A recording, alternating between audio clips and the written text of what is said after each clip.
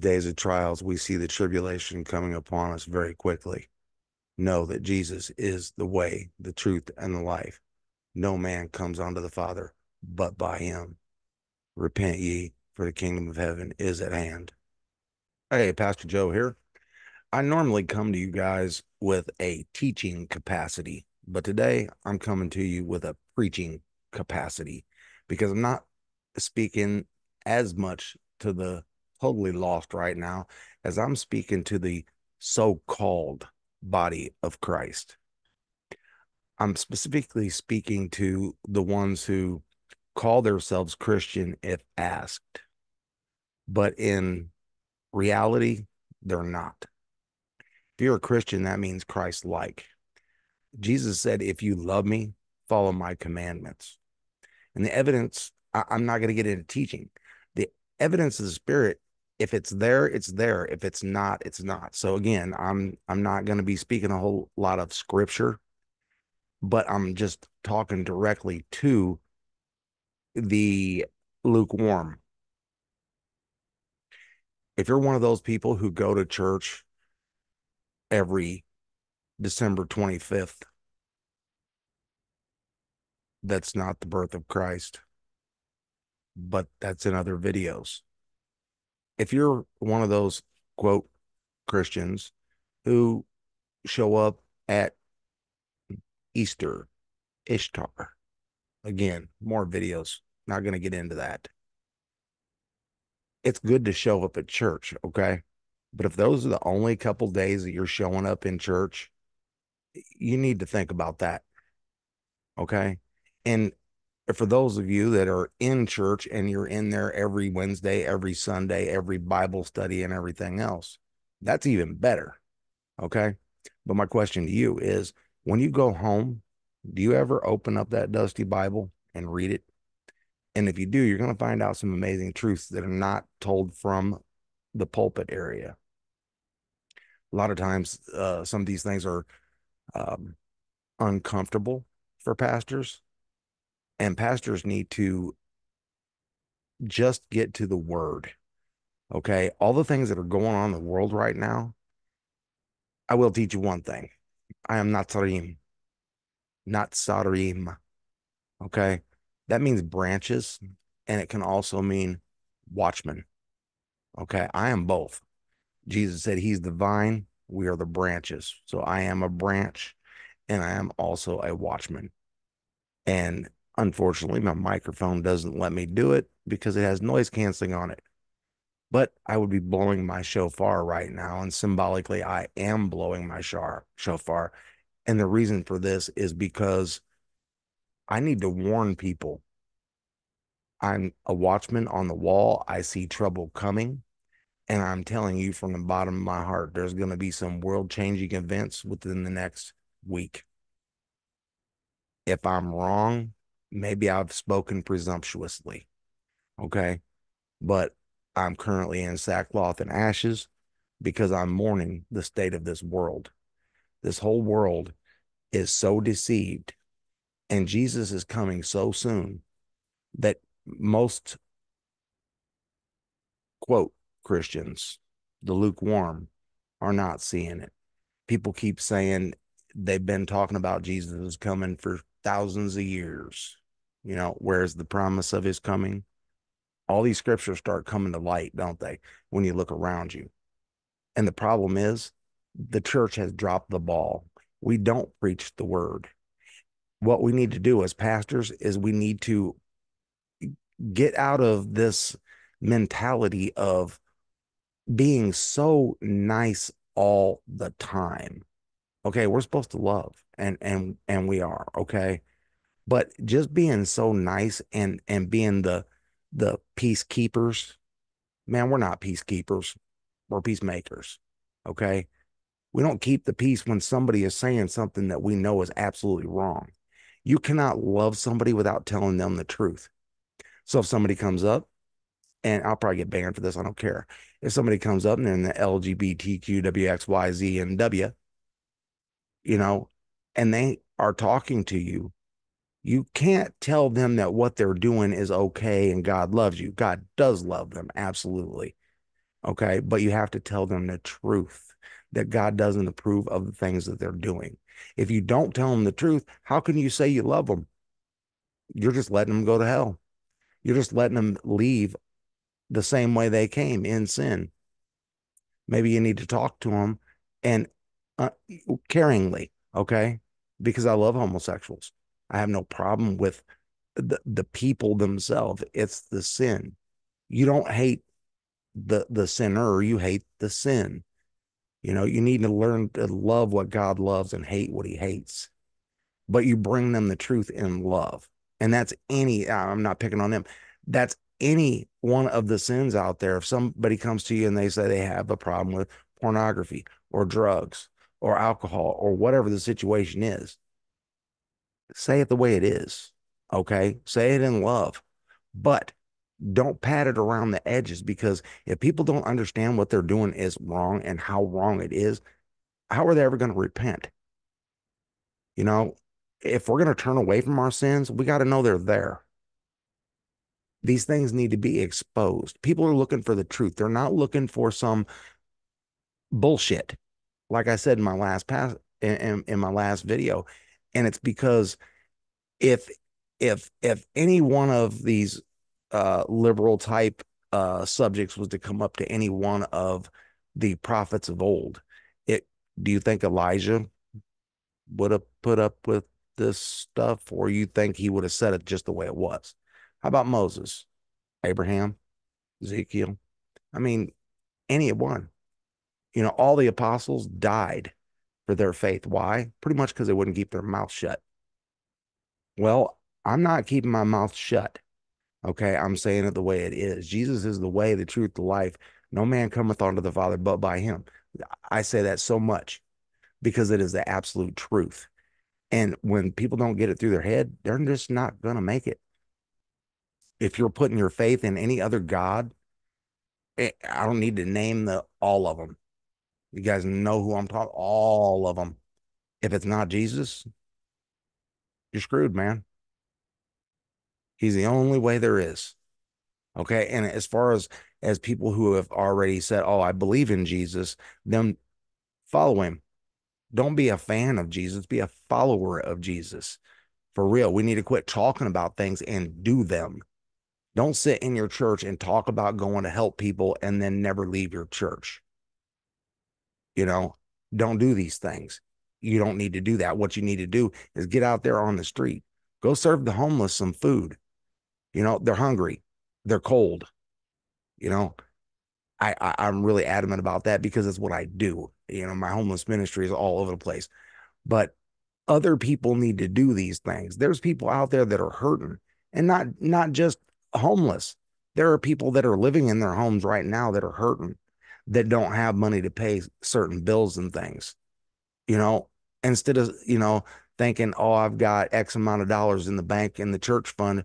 Why don't you take that out of the church fund before Jesus comes back and it's all where uh, uh, uh, moth and rust is going to decay? Lay up your treasures in heaven, man. Why don't you go out there and take all that money that you got and go give it to the people who really need it?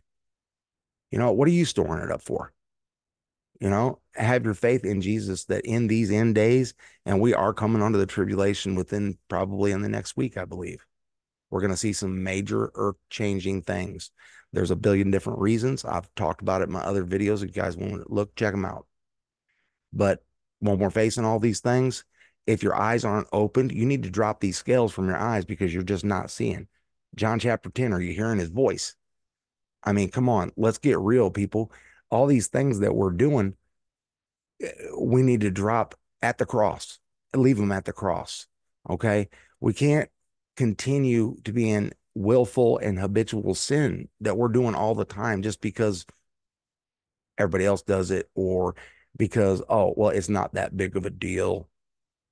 Or, you know, it, like I said, everybody does it. Well, most people are going to hell. You know, if you say you believe in Jesus, why don't you start following him? What I mean, for all you Christians out there who are sitting there and and and you know, you got a Bible. Do you know where it is? You know, and if you do, praise Yeshua, praise Jesus. Thank you, God, for that.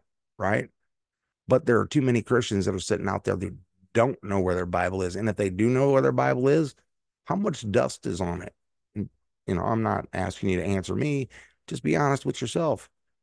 Introspect yourself. Check out what's in your heart. Are you really following Jesus? Are you reading your Bible to get to know who he is? Have you ever read your Bible all the way from cover to cover? You know, do you open it up every day and read it? Eh, do you meditate on his word? Do you pray? You know, I've seen a, a statistic. Uh, most pastors in America pray an average of six to 12 minutes a day. You're sickening. If, one of your congregants was to come to you and, and say, Oh, I prayed six minutes the other day, you would probably have this look at them like, Are you kidding me? But introspect, look at yourself, be accountable for what you do. You know, the Lord sees everything. Be on your knees and pray. Be a real warrior for Christ. Put on your armor every day. Walk in the armor. Wear the armor. Again, I've said that in my past videos of what that means. It's not just talking about, it's doing it. That's what we need to do. We need to put one foot in the uh, one foot in front of the other. Our feet are shod with the preparation of the gospel of peace, right? Walk in it. Go spread the word. For anyone that are watchmen out there and they see what's going on, bless you in the name of Yahushua Jesus. I love you and thank you so much. Blow your shofars. Not only physically, I have my shofar. I love blowing it. I do almost daily. Okay. But I mean, blow your shofar as far as letting people know what is going on. This is so in our face. There are so many things that are going on. I'm not saying it's the end of the world. I'm not saying that. What I am saying in a nutshell, and I've been really apprehensive about saying this, but I've I've talked to several pastors and and and some confidants, and I really got it on my heart that I believe that World War III is going to be starting here very soon, possibly Monday. Again, I don't know that that's true, but I have a very sinking feeling of that. What I do know is within the next week, something earth changing is going to happen. So, World War III, possible. Something earth changing happening within a week, I believe that is the word of God. And if I'm wrong, I'll repent of that. I'll be fully accountable for that. Again, I didn't even really want to speak it, but I am speaking it because obedience is better than sacrifice. And the Lord has been on me something serious about this. I couldn't get it out of my mind. So I am coming to everybody and I am a watchman and I'm blowing the shofar telling you that Jesus is coming so, so soon. There's a lot of prophecies that still have to be fulfilled before he comes back. So it's not the end of the world. Like I said, I'm not saying that. But what I'm saying is we're never going to know the day or the time, right? But we are to know the seasons. And what I'm telling you right now, we're in the season. It's very, very close. I don't know much what else to say here other than drop the scales from your eyes. You need to turn everything over to Christ. Everything, all those little things. And almost everybody has one little hidden thing that they just don't talk about. And, you know, they, they probably even would know that it's wrong, but they're not addressing it. What you need to do is literally lay it down to God, all of it, every bit. If you're if you're sitting on your chair, whatever, it doesn't matter where you are, whether you want to do it in your in your mind, whether you want to go to a church, whether you want to be on your knees, it don't matter where you are. Because through Jesus Christ, we're able to go to the throne room of God. The veil was ripped. And when we go to the Father and we lay this stuff down, He's going to be faithful to, forgive. The blood of Jesus Christ covers all sins. We just have to accept Him. And accepting Him is following Him. So let's put our nose to the grindstone as watchmen, Notzrim, as branches, as watchmen. Let's start blowing this horn and let people know because you know what? Remember, if you're a watchman on a wall and you see something coming and you don't say nothing, it's your fault. It would be my fault. That's why I'm speaking out because I don't want it to be my fault. So I'm going to close this out. All praises to Yahushua, Yeshua, Jesus, however you want to say it. Whether you want to say Yahuwah, whether you want to say Yahweh, whether you want to say Yahovah, it's all the same. My name's Joseph, but people know me by Joe, and Big Joe, and, and King Baby J, and so on and so forth. I'm not offended by any of it. Jesus is not going to be offended by you calling one of his one of his names. He has one name. Okay. These are just different languages. It's just interpretations. Okay. I do encourage everybody to get into the Hebrew. It's amazing.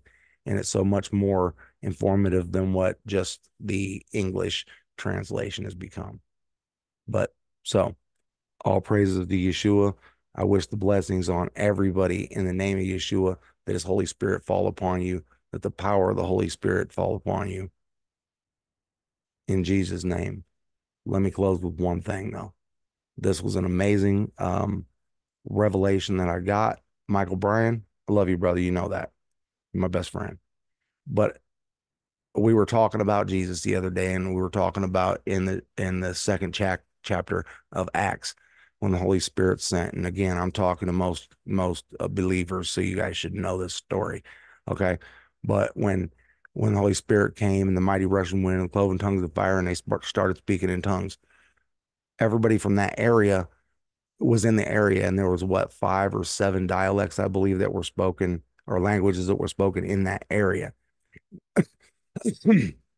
when the apostles started speaking in tongues, the people were amazed because they heard it in their own language. Okay, you guys know this story, right? Well, here's something that I never even thought of before, but this is amazing. Jesus went into his ministry at 30 years old. He was baptized by John the Baptist. The Holy Spirit came down on him like a dove. That was the beginning of his ministry. Then he went out and he was ministering to multitudes of people in the same area.